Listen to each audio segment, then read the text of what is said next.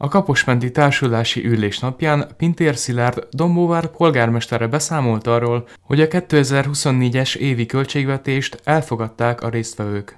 Ezen túlmenően tárgyalta még a társulás a rendezvénysátorunk igénybevételének 24 évi tervezetét.